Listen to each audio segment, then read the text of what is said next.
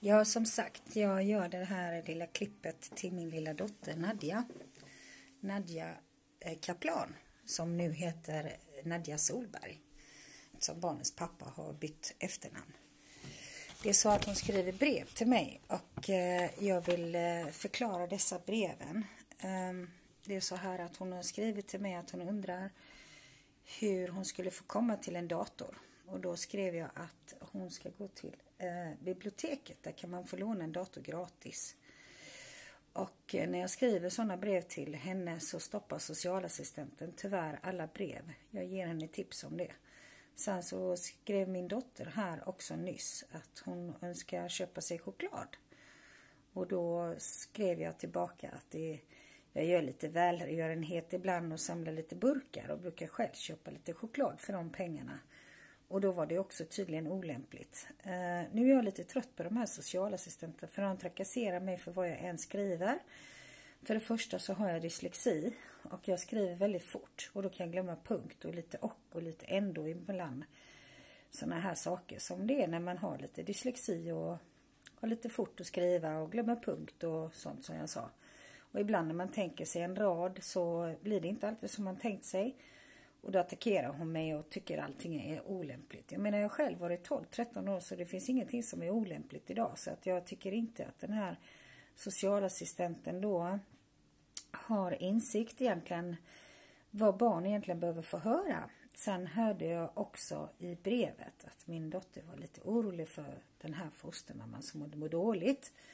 Jag har ju själv arbetat inom psykiatrin sedan jag var 17 år fram tills jag var 32. Så att eh, jag har jobbat med sjuka, väldigt, sjuka människor så jag vet ju vad som är sjukt och inte sjukt.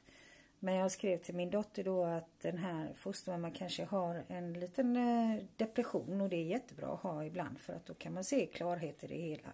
Eller så har hon då någonting som heter klimakterien.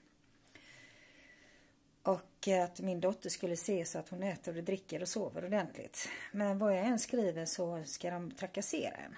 Men eh, som sagt var, jag hoppas att du ser det här Nadja och du ska inte tro på allt vad fostermammorna säger och socialen och så. För du vet att mamma också varit fosterplacerad utav falska grunder och sådär. Så att du har ju haft det väldigt bra här och du känner ju mig Nadja och mitt hjärta att jag är inte den som eh, utsätter er för skador eller slår er eller misshandlar er.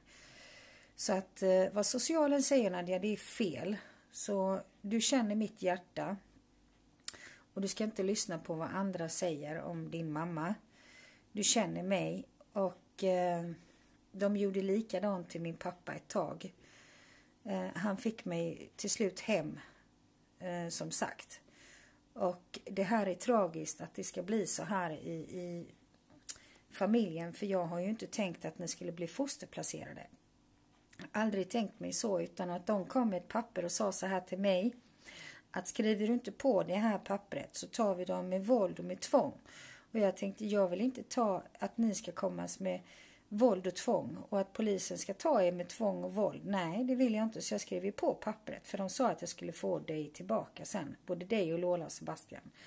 Men jag fick ju inte dig tillbaka. Jag, de gav ju vårdnaden till din pappa. Och din pappa har ju gått tyvärr och spridit massa hemska rykten om din mamma som inte finns. Och socialen var duktiga nog och hjälpte till. Och nu är det så här att din mamma har haft ensam vårdnad över tio år. Innan de och tio åren så fanns inte en enda socialjournal. Det var jag och min pappa som skötte er. Om du minns det att pappa kastade godisregn från balkongen. Han tyckte det var roligt. För så gjorde vi på mitt 70-80-tal när vi var små. Så kastade pappa godis ut så genom balkongerna så jag och min syster skulle springa och jaga godis och även plundra granen, julgranen och sånt där. Och när det var nyår så hoppade vi på ballong, ballonger. Men som sagt, du ska inte tro på dem Nadja. Utan att om du vill ha en dator så går du till biblioteket. Där kan du få låna en dator. Vill du låna en mobil så kan du låna din kompis mobil i skolan. Och som sagt Nadja, du känner mig och mitt hjärta.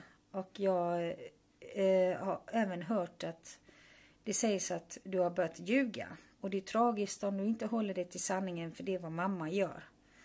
Och jag vill att du ska också hålla dig till sanningen. Det gäller även Sebastian.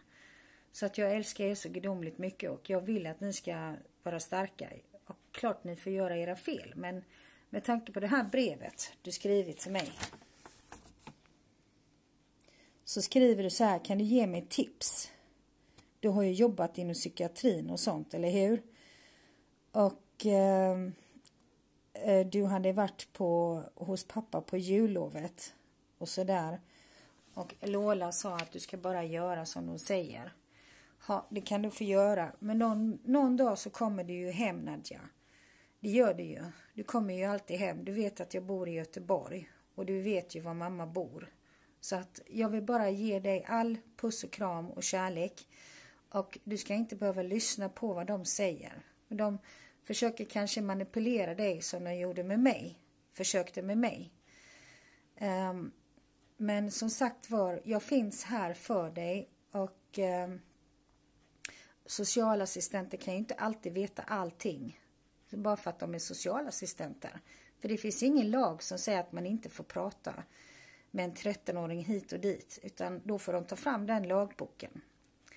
Men som sagt var, jag har inga alkoholproblem eller drogproblem eller något annat eller någon annan sjukdom.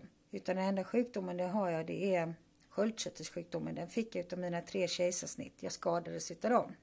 När de körde ner dem i halsen på mig. Så att eh, jag gick 15 år innan läkaren fick, fick eh, förstånd att förstå att han har skadat mina sköldkörtlar och min, min röst, alltså stämband. Inget annat har jag. Så att jag tackar för mig och jag hoppas Nadia att du hör och ser detta. Nu ska jag gå och träna igen. Puss och kram. God bless.